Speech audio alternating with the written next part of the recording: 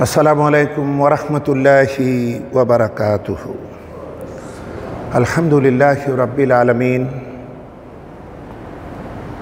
ওসলাত ওসালাম আলা সৈয়দুল মুরসালিন ওয়ালা আলিহি ওয়াসাহাবিহি আজমাইন আউজুবিল্লাহি মিনাশাইতানির রাজিম বিসমিল্লাহির রহমানির রাহিম সম্মানিত দিনদার ইমানদার মুসলমান ভাইরা আমরা আল্লাহ সুবহানাহুয়া তাআলার একান্ত অনুগ্রহের শুক্রিয়া আদায় করছি যিনি পবিত্র জুমাবারে আমাদেরকে তার পবিত্র ঘরে উপস্থিত হওয়ার সুযোগ দিচ্ছেন। এজন্য আমরা পড়ি, আলহামদুলিল্লাহ। আমিও মহান মাহবুদের একান্ত মেহেরবাড়ির শুক্রিয়া জানাই, যিনি আল্লাহ পাকের দিনকে কেন্দ্র করে মানবতার সামনে তিনি কথাবার্তা, আলোচনার সুযোগ আল্লাহ পাক আপনাদেরকে সাথে নিয়ে আমাকে দিলেন, এজন্য আমিও পড়ছি, আলহামদুলিল্লাহ। আজকে খুবই গুরুত্বপূর্ণ একটি বিষয়ে আলোকপাত করতে চাই, যেটির কারণে আমাদের সারা জীবনের সমস্ত সাধনা ব্যর্থ হয়। যত্নে গড়া আমাল, যত্নে গড়া কৃতকর্ম, সবই শেষ হয়ে যায়। সেই বিষয়টি আমাদের চিনতে হবে, বুঝতে হবে। সেটি হচ্ছে শির্ক। বুদ্ধিমান ব্যবসায়ী যারা, তারা যখন ব্যবসা করতে নামে, খাদ্যদ্রব্যের ব্যবসা যারা করেন, তারা এগুলো কেনার আগেই জেনে নেন যে এগুলা যত্নের নিয়ম কি, এগুলা রক্ষার নিয়ম কি, এটা নষ্টের হাত থেকে বাঁচাতে কি করতে হয়? তো অনুরূপভাবে আমরা যারা ইমানের ভিত্তিতে আল্লাপাকের দিনের ময়দানে এসেছি, আমরা যারা নেক আমলে আন্তরিক, তাদেরকে বিষয়টি ভেবে নেওয়া দরকার যে এই নেক আমল যেন নিজেদের অবহেলায়, অসচেতনতায় যেন ধ্বংস হয়ে না যায়, নষ্ট হয়ে না যায়, এটা যাতে ক্রমাগত বাড়তে থাকে। এই বিষয়গুলি আমাদের বোঝা দরকার। সব থেকে ভয়াবহ বিষয় হচ্ছে শিখ। যেটা থাকলে আমাদের কোনো নেকামলই গ্রহণ হয় না। আমাদের ইমানের দাম নাই, আমাদের আমলের দাম নাই, আমাদের দান খয়রাতের দাম নাই, আমাদের কোনো কিছুরই দাম নাই। আর যেটা না থাকলে শির্ক মুক্ত ইমান, শির্ক মুক্ত আখলাক শির্ক মুক্ত আমল যদি হয়, তাহলে আমাদের চাইতে লাভবান আর কেউ হতে পারবে না। সোহান আল্লাহ এটা শুধু বাড়তেই থাকে। বারাকা আল্লাহ দিয়ে দেন। এজন্যে শির্ক বিষয়টা আমাদের বোঝা দরকার। খুব সহজে বুঝি, শির্ক হচ্ছে তাওহিদের বিপরীত। আর তাওহিদ হচ্ছে শির্কের বিপরীত। যেমন আলো ও অন্ধকার অথবা আলো আধার। যেখানে আধার নেই, সেটাই আলো। আর যেখানে আলো নেই, সেটাই আধার, অন্ধকার। তো অনুরূপভাবে যেখানে তাওহিদ নেই, সেটাই শির্ক। যেখানে শির্ক নেই, সেটাই তাওহিদ। এইটি হচ্ছে সবথেকে সহজ করে বোঝার উপায়। পৃথিবীতে বহু জুলম আছে, অত্যাচার আছে, অবিচার আছে। এর ভিতরে সব থেকে বড় জুলম সব থেকে বড় অবিচার, অত্যাচার হচ্ছে আল্লাহ সুহানাহুয়া তালার সঙ্গে বান্দার এই শির্কের আচরণ। যে জন্য কোরআনে করিমে সুরা লুকমানের তেরো নম্বর আয়তে আল্লাহ পাক নিজেই বলছেন ইন্না শিরকা লা জুলমুন আজিম শির্ক হচ্ছে মস্ত বড় জুলম, মস্ত বড় অত্যাচার, অবিচার। এবং এটাই একমাত্র গোনা কোরআনে করিমের দৃষ্টিতে যে গুণাটি আল্লাহ ক্ষমা করেন না বলে দিয়েছেন, এছাড়া তিনি আর যত গুণা আছে তিনি ইচ্ছা করলে ক্ষমা করতে পারেন। আমাদের মনে রাখতে হবে, তার ইচ্ছাই ক্ষমা হয়। যে এমন আমি যে গুণা করি ক্ষমা হয়ে যাবে। এমন না, আল্লাহ বলছেন, শির্ক বাদে আর যত গুণা আছে, আমি ইচ্ছা করলে ক্ষমা করে দিই। কিন্তু শির্ক আমি ক্ষমা করি না। এটা আসলে মুসলমানদের শির্ক। মুসলমানদের শির ক্ষমা হয় না। অন্যদের শির ক্ষমা হবে? হবে। যখন কোনো অমুসলিম তাওহিদের কালেমার ঘোষণা দেয় অন্তরে যখন সে বিশ্বাস করে এবং এই বিশ্বাস নিয়ে সে যখন জবানে ঘোষণা দেয়, লা ইলাহা ইল্লাল্লাহু মুহাম্মাদুর রাসূলুল্লাহ তখন বিগত জীবনের গুণাসমূহ আল্লাহ মাফ করে দেন সোহান আল্লাহ এখন আমাদের হবে কি করে ক্ষমা? আমরা তো কালেমা পড়ি, ইসলামের ভিতরে ঢুকে যারা শির করি, তাদেরকে খুবই বুঝবার পর সাচ্চা দিলে তৌবা করতে হবে। তাহলে এটাও আশা করা যায় তিনি ক্ষমা করবেন। কিন্তু তার সাধারণ ঘোষণা এইটা, বিশেষ ঘোষণা এইটা, যে ঘোষণাটি রয়েছে সুরা নিসার, আটচল্লিশ নম্বর আয়াত এবং একশত ষোলো নম্বর আয়াত। ইন্নআল্লাহ লা ইয়াগফিরু আইয়ুশরাকা বিহি ওয়া ইয়াগফিরু মা দুনা লিমাইয়াশা নিশ্চয়ই আল্লাহ পাক শিরকের গুনাহ ক্ষমা করেন না। এর বাইরে সকল গোনা তিনি ইচ্ছা করলে ক্ষমা করেন। তাহলে কি ভয়াবহ বিষয়? এবং নবীজি বলেছেন, শির্কের ব্যাপারে আমি আপনি যদি সচেতন না থাকি, তাহলে আমি যতই পরেজগার হই, যতই তাকুয়াবান হই, যদি আমি সতর্ক এবং সচেতন না হই, আমি যখন বলছি যে যতই পরেজগার অথবা যতই তাকুয়াবান এই তাকুয়াবান যখন আমি বলছি, তখন আমাদের ধারণার কথা বলছি। ইসলামের দৃষ্টিতে যে তাকুয়া সেটা থাকলে শির্ক হবে না। অর্থাৎ তাকুয়া হচ্ছে সতর্কতা, সাবধানতা। কিন্তু আমরা তাকুয়া মনে করি বাহ্যিকতার কিছু ফ্যাশন। কিছু লোক দেখানো কিছু জিনিসকে তাকুয়া মনে করি। হাতে একটা তসবি থাকবে, সবার সামনে আমি বসে বসে জিকির করব। বিশাল লম্বা ড্রেস থাকবে, মাথায় পাগড়ি থাকবে। সাধারণ মানুষ থেকে আমি আলাদা, অতএব আমি মুক্তাকি আমি এইটা ইসলাম বলে নাই ইসলাম যে তাকুয়ার কথা বলেছে, সেটা সদা সর্বদাই আল্লাহকে সর্বাধিক মোহাব্বাত এবং সর্বাধিক ভীতি আল্লাহর প্রতি থাকলে মনের ভিতরে যে সতর্কতার উদ্ভব হয়, সবসময় খেয়াল থাকে যে আমি এই আমলটা আল্লাহকে ভালোবেসে করব। আর এই হারামটা দিল চাচ্ছে, কিন্তু আল্লাহর ভয়ে সরে থাকব। এই সতর্কতা যাদের থাকে, এরাই মুখ থাকে তো এরাই তো বাঁচে কিন্তু সমাজের প্রচলিত লোকেরা যেটা মনে করে, এরা বাঁচতে পারে না। নবীজি কীভাবে বলছেন দেখুন, যে শির্ক মানুষের অন্তরে কীভাবে ঢোকে? অমাবস্যার রাতে অমাবস্যার রাতে মানে কালো আধার রাত, ধরুন একটা পাথর, সেটাও কালো। একটা পিপিলিকা চলছে, ওটাও কালো। এটা যেমন চোখে পড়ে না এভাবে চলে, আপন মনে চলে, কারও চোখে পড়ে না। আমাদের বাড়িতে মাঝে মাঝে একটা সাদা বিড়ালও আসে, কালো বিড়ালও আসে।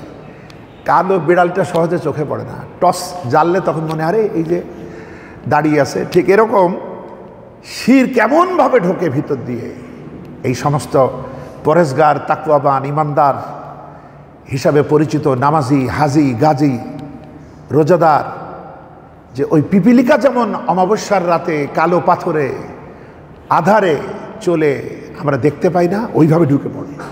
আল্লাহ আমাদেরকে রক্ষা করুন, আমরা বলি আমিন। এবং রক্ষা পাওয়ার জন্য আমাদের রীতিমতো সাধনা করা দরকার।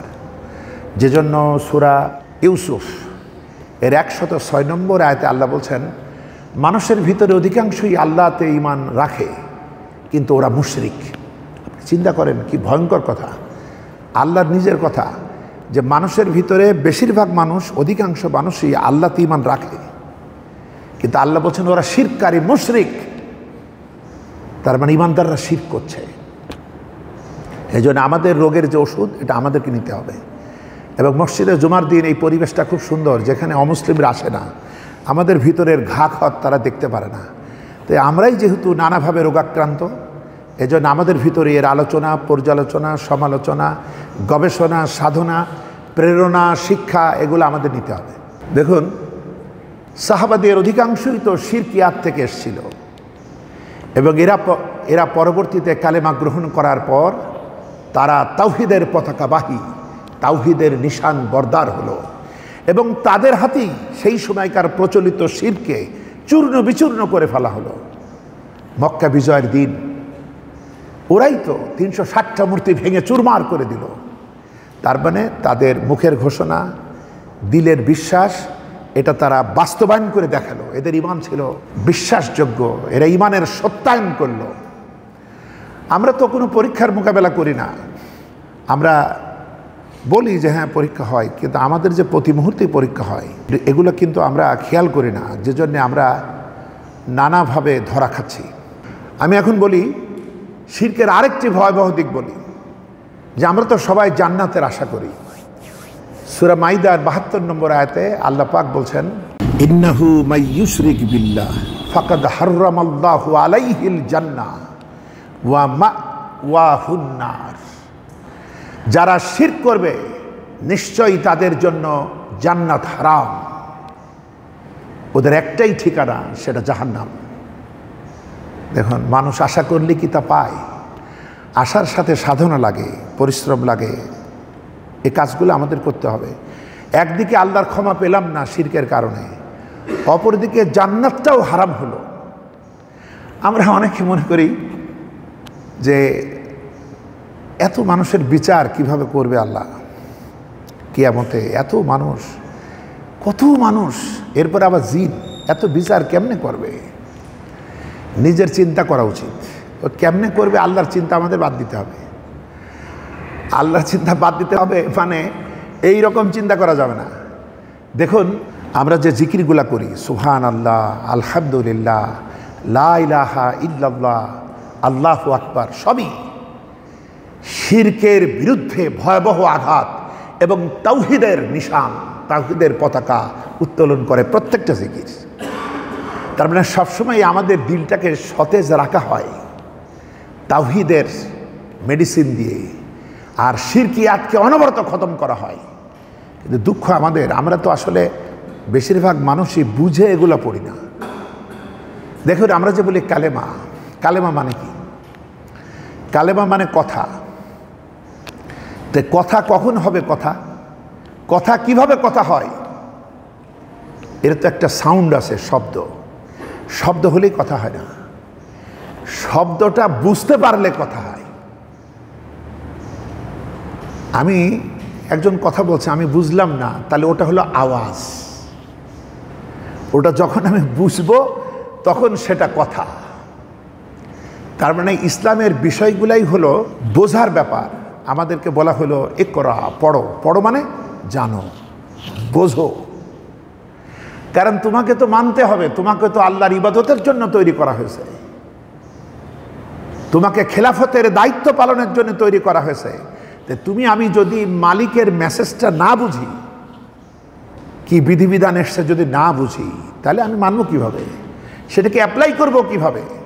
বন্ধুগণ, সুতরাং এতটুকু বুঝলাম যে শির্ক হলো ভয়াবহ রকমের গোনা যে গোনা করলে আল্লাহর ক্ষমা পাওয়া অসম্ভব। এবং এই শির থাকলে জাহান নামে যাওয়াই লাগবে। কিয়ামতের দিন আমলে যাদের শীত নাই, এবং সাথে সাথে তৌবা আছে, এ মানুষগুলি জান্নাতে চলে যাবে সোহান আল্লাহ তো অযথা শির্ক নিয়ে করব কি আমি? যাদেরকে আল্লাহর পাশে দাঁড় করালাম, ওরা তো আমার কোনো কাজেই আসবে না। এত বোকামি কেন করব আমি? মস্ত বড় আহাম্মক ছাড়া কেউ শির করে না। দেখুন, আপনার দুনিয়াটাই দেখেন, শির্ক মানুষ কেন করে? শির্ক মানে বাংলায় শরিক। অংশীদার পার্টনার এটা হচ্ছে শরিক। আপনার অনেকেই ব্যবসায়ী। কেউ কেউ পার্টনারশিপ বিজনেস করেন। কেন করেন? এটা কিন্তু হারাম আমি বলছি না। এটা আপনার জন্য হালাল। এখন শুধু জেনে নেন, আমরা যে পার্টনারশিপ বিজনেস করি, বিভিন্ন কারণে আমরা শরিক নেই। এই যে এই মসজিদটা কি শুধু একজন ব্যক্তির মাধ্যমেই চলে? তার সঙ্গেও সতেরো সদস্য বিশিষ্ট সম্মানিত কমিটি রয়েছেন, কারণ একে অপরের বিভিন্ন কাজে সহযোগিতা করেন। ঠিক এভাবে ব্যবসাতেও মানুষ পার্টনার নেয়, অংশীদার নেয়। কেন নাই তিনটি জিনিসের অভাব মানুষের মধ্যে আছে। এই তিনটি জিনিসের কোনো না কোনো একটার অভাবে মানুষ তার জীবনে শরিক খোঁজে, পার্টনার খোঁজে, অংশীদার খোঁজে। বান্দা যখন আল্লাহর সাথে কাউকে শরিক করে তখন সে স্বাভাবিকভাবেই আল্লাহর উপরে এই তিনটি অভাব আরোপ করে নাউজুবিল্লাহ বন্ধুগণ, চিন্তা করুন, কত বড় অপরাধ এমনি হয়, তিনি তো নিরঙ্কুশ ক্ষমতার সার্বভৌমত্বের অধিকারী। আমার আপনার পাগলামি, আমার আপনার দুর্বলতার কারণে তাকে আমি আমার মতো করে দেখব। এটা সম্ভব। এটা বিয়াদবি। এটা বিদ্রোহ।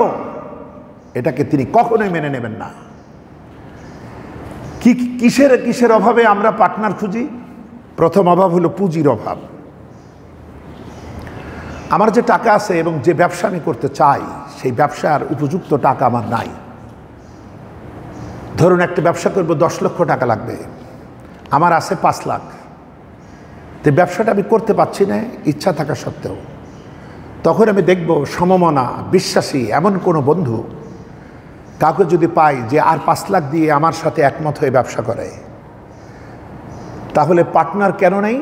পুঁজির অভাবে। এটি মাথায় রাখবেন যে সামর্থ্যের অভাব, পুঁজির অভাব, অর্থের অভাবে আমরা শরিক করি, শরিকদারি, অংশীদারি, ব্যবসা করি।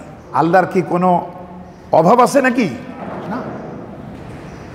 আল্লাহর কোনো অভাব নেই।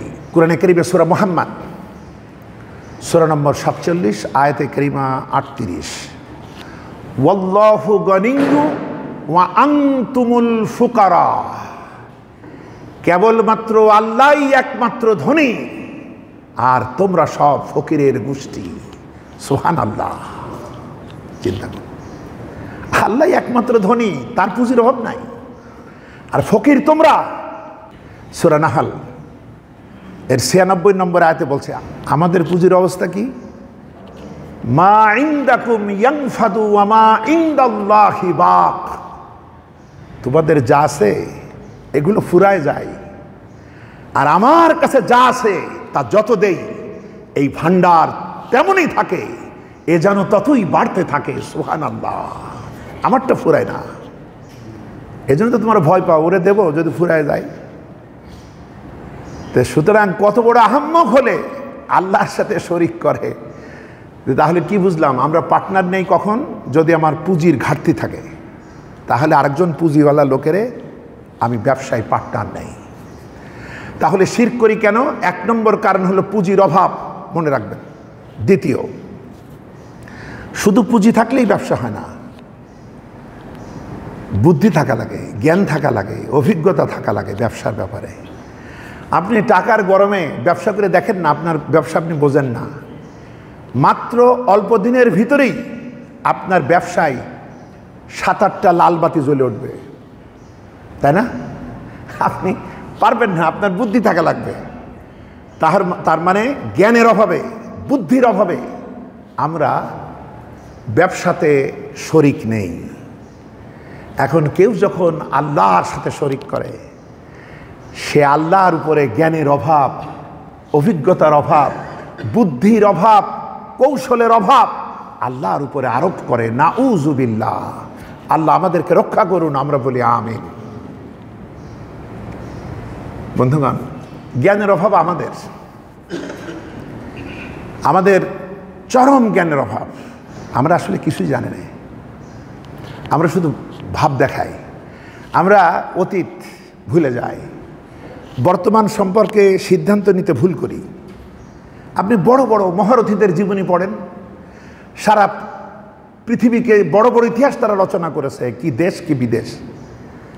কিন্তু জীবনের শেষে এসে এমন কিছু ভুল করেছে, জীবনটাও বাঁচাতে পারে নাই। খুব নিকটের মানুষকেও চিনতে পারে নাই, এই হলো জ্ঞানের অবস্থা। আর আল্লাহ পাখির জ্ঞান, তার জ্ঞানের কথা বলে শেষ নাই। কোরআনে কেরিবে সুরাতুল বাকারা, দুইশো ষোলো নম্বর আয় ওয়াল্লাহু ইয়ালাম ওয়া আনতুম লা তা'লামুন। কেবলমাত্র আল্লাহই সব জানেন। আর তোমরা কিচ্ছু জানো না। সোহান আল্লাহ কার সাথে আমরা কি করি? তার মর্যাদা, তার পজিশন আমাদের বুঝতে হবে। নতুবা নামাজে ভক্তি আসবে না। আমাদের বহু শহর এলাকায় এমন মসজিদ আছে আর বহু মুসল্লি আছে। যারা জুতা চুরির ভয়ে জুতা পেছেও রাখে, সামনেও রাখে। এবং রুকুতে গিয়ে কেউ কেউ বগলের ফাঁক দিয়ে তাকায়ও দেখে জুতা আছে না নাই। এই হলো আমাদের নামাজের অবস্থা। অথচ এই নামাজ কবুল হতে হলে আর সে আজিমে পৌঁছানো লাগে।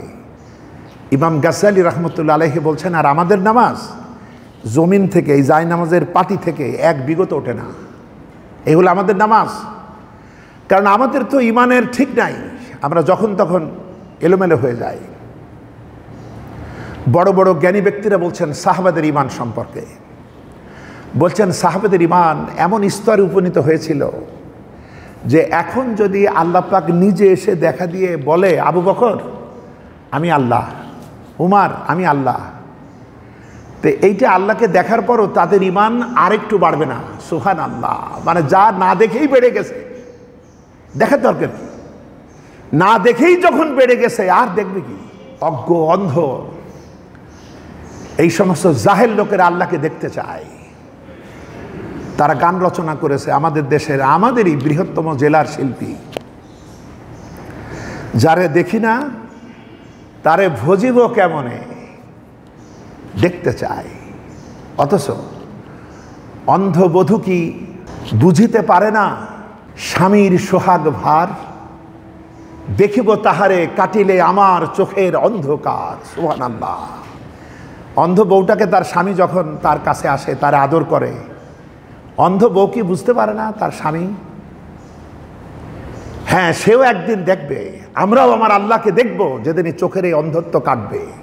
এবং এটা কাটবেই। সাহাবারা প্রশ্ন করেছিলেন, নবীজি, আমরা কি আল্লাহকে দেখতে পাবো না? নবীজি বলেছেন হ্যাঁ পাবে। কিয়ামতের দিন দেখতে পাবে। কীভাবে পাবো? মেঘমুক্ত আকাশে পূর্ণিমার চাঁদ দেখতে তোমাদের কি অসুবিধা হয়? না। ওভাবেই দেখতে পাবে। সুহান আল্লাহ সেদিন আল্লাহ পাক বান্দার দিকে তাকিয়ে থাকবেন। আর বান্দারাও আল্লাহর দিকে তাকিয়ে থাকবে। যখন আল্লাহ পাক আপন মহিমাই নিজেকে জালু আফরোজ করবেন, নিজেকে তুলে ধরবেন। সুলতান ইস্কু জালাল, সুলতান ইস্কু জামাল সমস্ত প্রেমের যিনি বাদশাহ, সমস্ত সৌন্দর্যের যিনি উৎস, তিনি যখন আপন মহিমায় আমাদেরকে দেখা দেবেন, এই তাকিয়ে থাকা কত কাল চলে যাবে? এর কোনো ইয়ত্ত নাই, শেষ নাই সোহান আল্লাহ সেদিন আল্লাহকে যারা মুগ্ধতা নিয়ে দেখতে পাবে এবং আল্লাহ পাকের স্নেহ মমতা যাদের উপরে পড়বে, আল্লাহ যেন তাদের মাঝে আমাদেরকে সামিল করুন, আমরা বলি আমিন।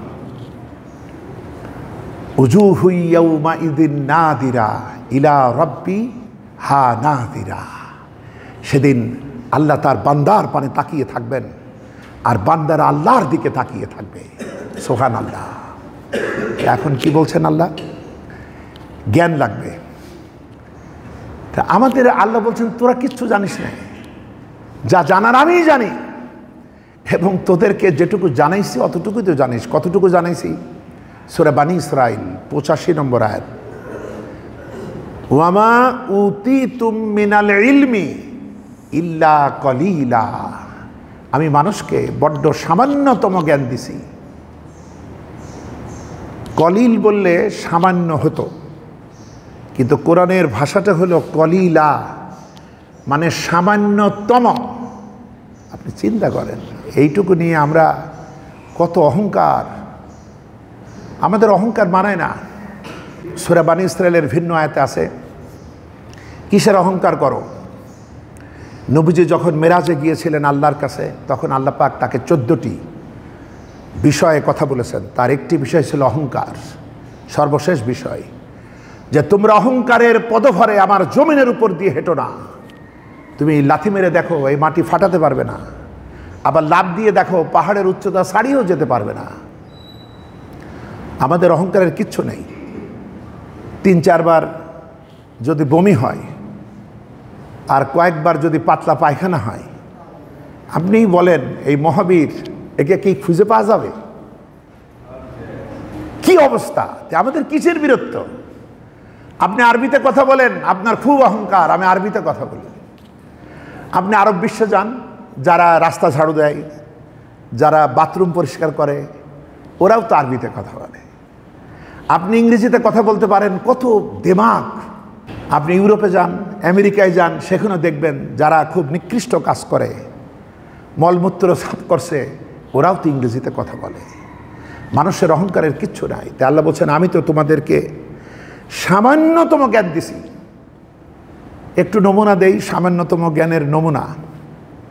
অনেক নমুনা আপনারাও জানেন। আমি একটা শোনাই, হঠাৎ করে মনে পড়ছে বহুদিন থেকেই নাসার বিজ্ঞানীরা মঙ্গল গ্রহে মঙ্গল গ্রহে তাদের নভোযান পাঠায়। নানা রকম গবেষণা হয়, কখনো কখনো হারিয়ে যায়, কখনো কখনো পৌঁছাতে পারে না। তো একবার যেটা পৌঁছালো, ওটা যখন মঙ্গলে প্রথমবারের মতো ল্যান্ড করল, যখন ল্যান্ড করল, আপনারা ইউটিউবে সার্চ করলে দেখতে পাবেন কত গতিতে সেগুলো মঙ্গলের উপরে ই করে তারপর ল্যান্ড করে। ল্যান্ড করার পর তার পিঠের পর্দাটা ফেটে গেল। ওর ভিতর থেকে ছয় চাকার একটা গাড়ি, সোজারনার নামে একটা গাড়ি বেরিয়ে এসল। তাকে সাজানো হয়েছে পাওয়ারফুল লেন্সের ক্যামেরা দিয়ে। এবার সে যাত্রা শুরু করল। মঙ্গলের রহস্যময় দৃশ্য, অজ্ঞাত দৃশ্য এরপরে বিজ্ঞানীরা গবেষণা করবে আসলে এখানে কি অবস্থা। ও ওখান থেকে ছবি পাঠায়, এই পৃথিবীতে বসে এরা সেই ছবি রিসিভ করে। কি আনন্দ, বিজ্ঞানীরা কি উল্লাসে। চিৎকার দিচ্ছে এতদিন পর মানুষের সাধনা মঙ্গলের পিঠে পৌঁছায়ছে এই আনন্দের মধ্য দিয়ে হঠাৎ করে গাড়িটা পাথরে ধাক্কা লাগল। পাথরে ধাক্কা লাগতেই এই পাওয়ারফুল লেন্সের ক্যামেরাওয়ালা গাড়িটা, এটা কাজ হয়ে পড়ে গেল, সর্বনাশ। বছরের পর বছর কোটি কোটি মিলিয়ন ডলার খরচের এই গাড়ি প্রায় অর্ধ শত কোটি মাইল দূরে ওই মঙ্গল গ্রহ। এতদিন ধরে সাধনার ধন এখন কিছুক্ষণের ভিতরে পড়ে গেল, এভাবে উল্টে গেল। কি হবে এখন? হরিষে বিষাদ, এই হাসি, এই কান্না। দেখুন, বিজ্ঞানীর এবার কম্পিউটার মনিটরিং করে তাদের যে সিস্টেম, এটা করে তারা আবার ওই কাত হওয়া গাড়িটাকে সোজা করে দিল। সুহান এই যদি হয় সামান্যতম জ্ঞান, তাহলে চিন্তা করুন, আমার আল্লাহর জ্ঞান কত বড়। সুহান আল্লাহ আল্লাহ বন্ধুগান আল্লাহ বলছেন, আমি তো তোদেরকে সামান্যতম জ্ঞান দিছি। কত মানুষ আছে যারা চিন্তা করে? সারা জীবনের মা ইয়াল ফিজুমিন কৌলিন ইল্লা আলা দৈহ রকিবুন নাতিদ মানুষ যে কথাই বলুক, সব তার আমলে লেখা হচ্ছে। তো এটা নাকি ভালো যদি আমি হই, আমার ডান হাতে দেবে, আমল নামা। খারাপ হলে পেশের দিক থেকে বাম হাতে দেবে। তো এত বড় বই, এত বড় খাতা ধরবো কি করে? আগের দিনে ব্যাংকে গেলে আপনারা দেখতেন খুব বড় বড় খাতা। এবং সেই সব খাতাগুলা, বইগুলা টানার জন্যে এ মানুষে টেনে কুলাতে পারবে না। সেটার জন্য আলাদা গরুর গাড়ি হোক, যে গাড়ি হোক ছিল। কিন্তু এখন আপনারা গিয়ে যদি বলেন, ম্যানেজার সাহেব, ক্যাশিয়ার সাহেব, অথবা কারও যদি বলেন, আমার এত নম্বর অ্যাকাউন্ট। দেখেন তো কি অবস্থা। বলবে, দাঁড়ান, এক মিনিটও লাগবে না। কয়েক সেকেন্ডের ভিতরে আপনি কবে কত টাকা নিছিলেন, কবে কত জমা দিছিলেন আছে কত, লাভ হয়েছে কত, সব বেরিয়ে আসবে না। এটা ব্যাংকের ওখানে আছে একটা মাইক্রোসিপস ব্যাংকের এই সামান্য ছোট্ট একটা যন্ত্র ওই কম্পিউটারের ভিতরে। এর ভিতরে শুধু আমার আপনার খবর না, এরকম লক্ষ লক্ষ। যারা ব্যাংকের গ্রাহক, এদের সবার নাম, বাপের নাম, স্ত্রীর নাম, নমিনিকে, তার ঠিকানা কি, কবে কত উঠাইছিলেন, কত, কবে কত জমা দিয়েছিলেন, কত লাভ হবে, সব সেকেন্ডের ভিতর আসছে। এটা যদি সামান্যতম জ্ঞান দিয়ে মানুষে পারে, তাহলে এবার চিন্তা করুন, আপনার আমার সারা জীবনের আমল নামা। এর থেকেও আরও কত ছোট্ট ইয়েতে, কত কৌশলে, কত কুদরতি উপায়ে আমার আপনার হাতে চলে আসবে। এজন্য আল্লাহ কেমনে করবেন এই চিন্তা করে আমাদের স্বাস্থ্য খারাপের দরকার নাই। বরং আমি আপনি কি করে বাঁচবো, এই চিন্তা আমাদের করতে হবে।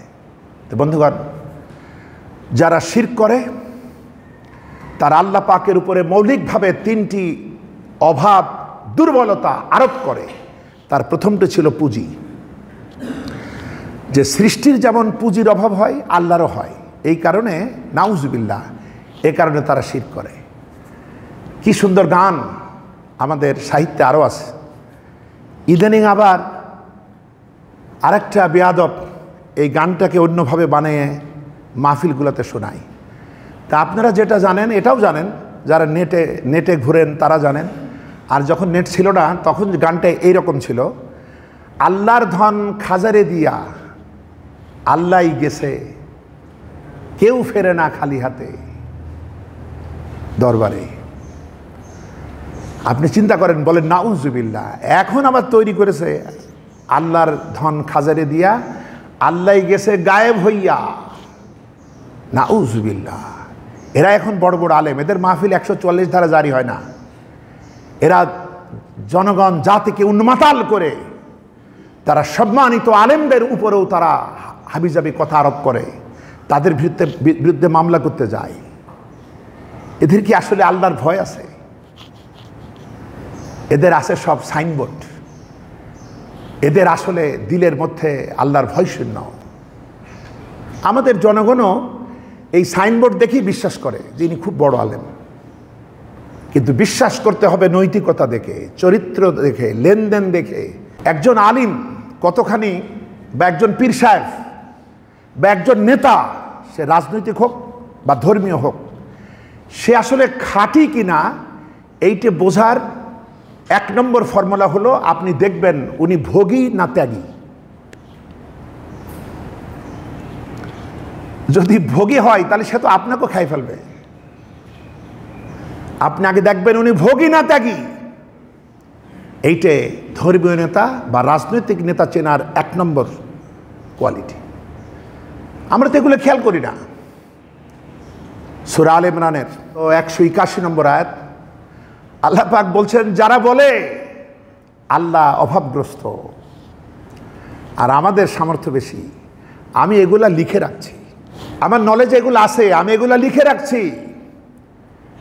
এবং এরাই তো তারা যারা নবীদেরকে হত্যা করেছে এবং এদের জন্য আমি সেদিন নির্দেশ দেব। এদের উপরে ছড়ায় দাও জাহান নামের দহন যন্ত্রণা। যারা এই কথা বলে যে আল্লাহ অভাবগ্রস্ত, আর আমরাই এই সামর্থ্যবান। এই কথাটা ছিল ইহুদিদের।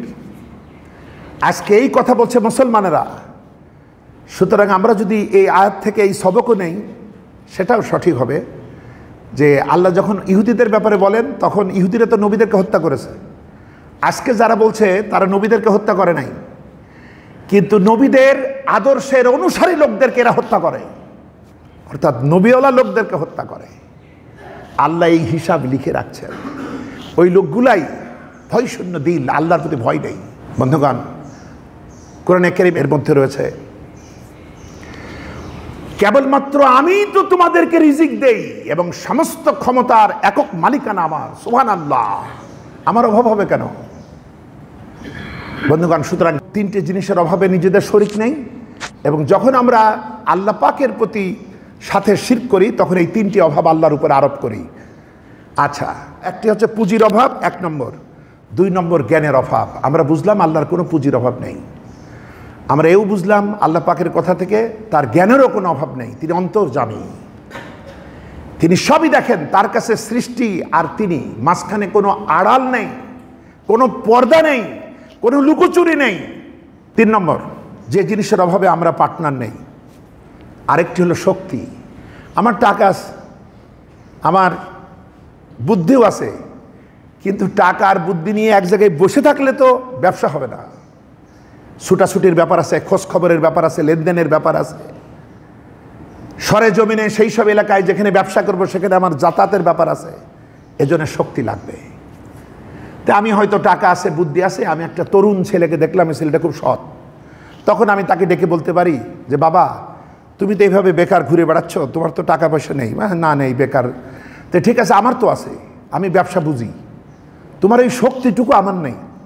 তুমি তোমার এই শক্তিটা আমার ব্যবসার জন্য কাজে লাগাও। তাহলে তোমার এই শক্তিটাই তোমার পুঁজি, আর এগুলো আমার পুঁজি। এগুলো দিয়ে আমরা পার্টনার নিতে পারি।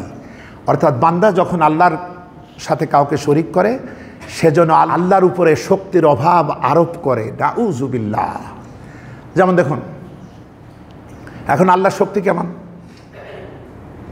আমাদের দেশে বিভিন্ন সময় রাজনৈতিক ময়দানে ইদানিং শুনি নে কিন্তু এক সময় খুব সরগরমভাবে শুনতে হতো, জনগণ সকল ক্ষমতার উৎস। আপনারা শোনেন নাই? জনগণ সব ক্ষমতা। না, জনগণ শুধু ভোটের ক্ষমতা রাখে।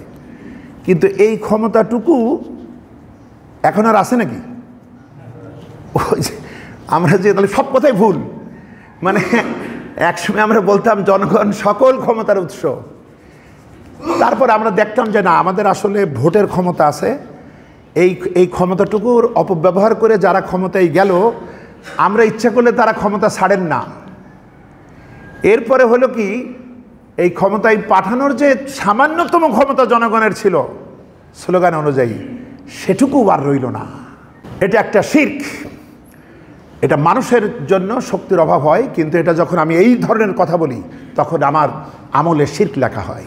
কারণ কোরআনে করিমে সুরাতুল বাকারা, এর মধ্যে এসছে, আন্নাল কুয়াতালিল্লাহি জামিয়া, সমস্ত শক্তির একমাত্র উৎস আল্লাহ রাব্বুল আলমিন। বলেন সুহান আল্লাহ একমাত্র, কেবলমাত্র শক্তির একক উৎস আল্লাহ। আন্নাল কুয়াতালিল্লাহি জামিয়া সুরাতুল নিসা। কোরআনে করিমের চার নম্বর সোরা, আয়তে করিম আটাশ আমাদের শক্তির ব্যাপারটা। আমরা যারা মানুষকে বাগে আনার জন্য কত রকমেরই জনগণকে ভুলাই। আমাদের শক্তি কি? ওয়া ওয়াফুলিকাল ইনসানু দইফা তোরা তো দুর্বল। আমি মানুষকে বড় দুর্বল করে তৈরি করেছি। সুতরাং শক্তির আহামরি মানব জাতির ইতিহাস, অহংকারী জালিমদের পতনের ইতিহাসে ভরপুর। খুব সামান্য মশার কাছে শেষ হয়ে গিয়েছে। সামান্য পানিতে ডুবে হাবুডাবে খেয়ে মারা গিয়েছে। কেউ একটু অসুখে মারা গিয়েছে। কতভাবে শেষ হয়ে গিয়েছে? ছোট্ট একটা বুলেট শেষ হয়ে গিয়েছে। কত পাহারা, কত কিছু। তাই বলছে, আল্লাহ বলছেন ওয়াহুলিকাল ইনসানু দাইফা আমি তোদেরকে বড্ড দুর্বল করে তৈরি করেছি। তোরা তো দুর্বল। শক্তি যা আছে আমার। সুতরাং, বন্ধুগণ, শরিকদারি পার্টনার অংশীদার, এটা করতে হলে দুর্বলতার জন্য এগুলো করতে হয়। যেটা আমাদের নিজেদের জন্য মানায়। যে আমরা যারা শক্তির দিক থেকে দুর্বল, তার একজন শক্তিবানকে নেব। এই যে যখন বয়স হবে দুর্বল, একটা লাঠি আমরা নেই। তার মানে আমি দুর্বল, আটটার উপর ভর করি। অথবা এমন কোনো সন্তান থাকলে, নাতি থাকলে তাদের ধরে ধরে আমরা আসি। এই যে দুর্বলতা, এর কোনোটাই আল্লাহর উপরে আরোপ করা যায় না। তিনি শক্তির একক উৎস। এই জন্যে কবিতাই হোক, গানে হোক, রাজনীতিতে হোক, ধর্মীয় ইয়েতে হোক খুব সতর্ক থাকতে হবে মোমেনদেরকে যে কোনো মতেই যেন শিরক আমাকে স্পর্শ না করে। সন্তান হয় না, লোকেরা যাচ্ছে খাজার দরবারে, কেউ ফেরে না খালি হাতে। নাউজুবিল্লা সন্তান চাই। আজকে ভালো ভালো লোকের সন্তান তো মাস্তান হয় কেন? কারণ এই সন্তানগুলো চায় হয়েছে শিরকিয়াতের মাধ্যমে। আর প্রত্যেকটা শিরকে শয়তান সব থেকে বেশি ইন্ধন দিয়েছে। এই যে আপনি সুবহান আল্লাহ বলেন কেন? সুবহান আল্লাহর মানেই তো আপনি সমস্ত শিরকিয়াতকে ভেঙে চুরে চুরমার করে দেন। কোরআনে করিম খোলেন, আল্লাহর শক্তিমত্তার কথা বুঝাতে গিয়ে আল্লাহ সুবহান আল্লাহ ব্যবহার করেছেন। আল্লাহ কাফেরদের, মোশরেকদের কথার প্রতিবাদ করতে গিয়ে সুবহান আল্লাহ ব্যবহার করেছেন।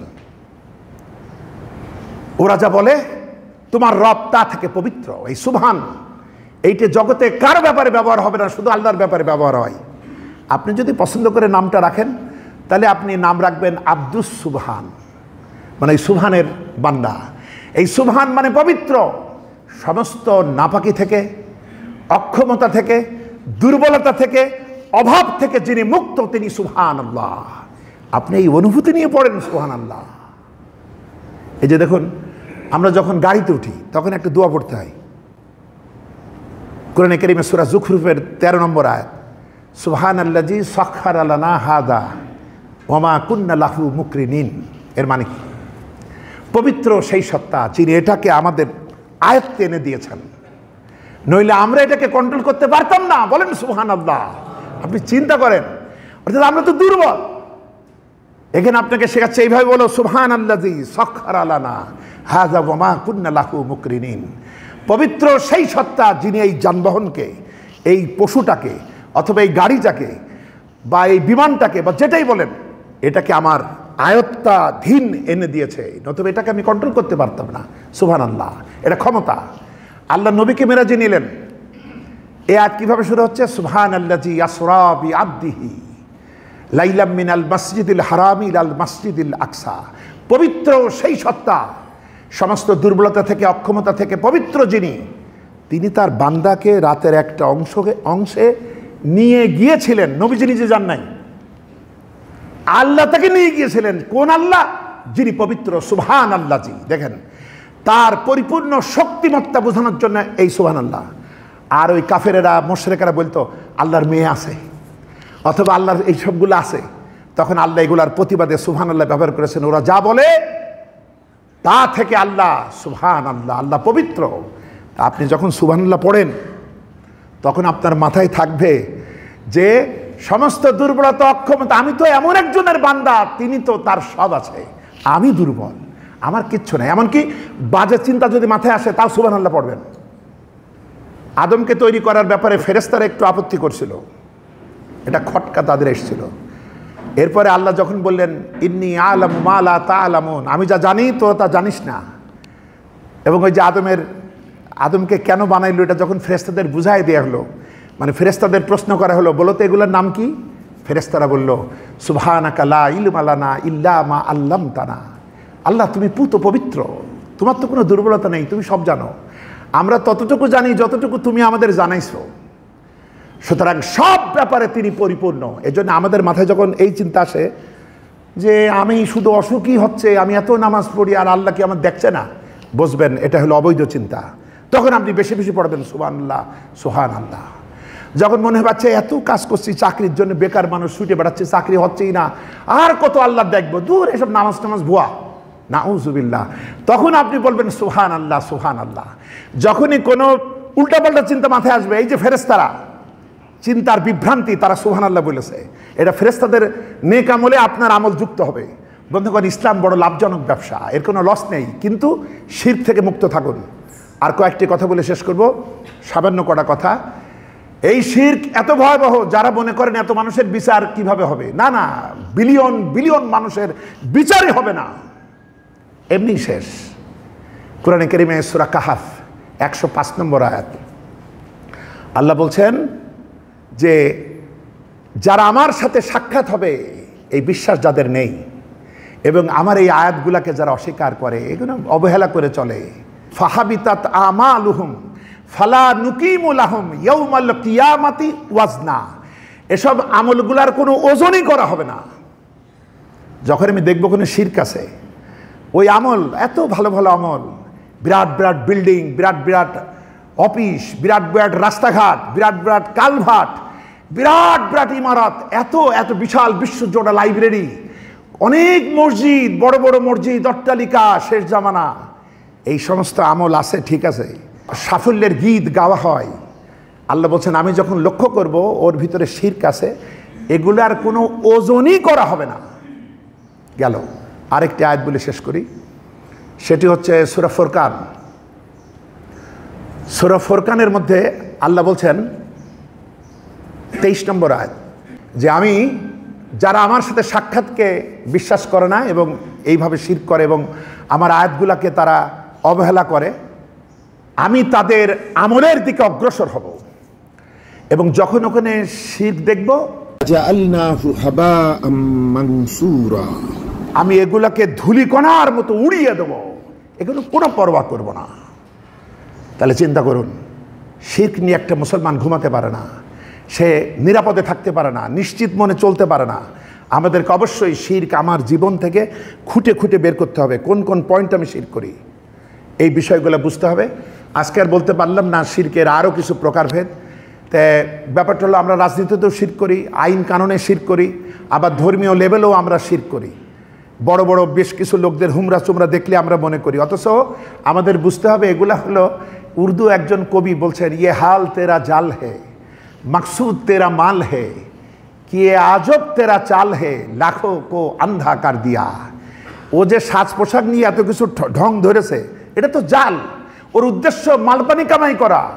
এটা তো মারাত্মক এক চাল চেলেছে যা দিয়ে লক্ষ লক্ষ মানুষকে অন্ধত্ব দিয়ে তাদেরকে ধোকা দিয়ে সে কামাই করছে। তো বন্ধুগণ, আমাদেরকে সময়কে কাজে লাগাতে হবে, একটু লেখাপড়া করতে হবে আমাদের সবাইকে। তাহলে আমরা ইসলামের এই গুরুত্বপূর্ণ ময়দান, যে ময়দান নিরাপদ না, শয়তান দিয়েও বিপদগ্রস্ত, পরিবেশ দিয়েও বিপদগ্রস্ত, নবস দিয়েও এই রাস্তায় চলা বিপদগ্রস্ত সব দিক থেকে বিপদগ্রস্ত। এই ময়দানে একেবারে নিশ্চিত মনে চোখ বুঝে চলা যাবে না। আমাদেরকে এই বিষয়গুলো জানতে হবে, বুঝতে হবে, মানতে হবে। আল্লাহ আমাদেরকে কবুল করুন। আমরা বলি আমিন। আসসালামু আলাইকুম ওরহমতুল্লাহি ওবরাকাতুহ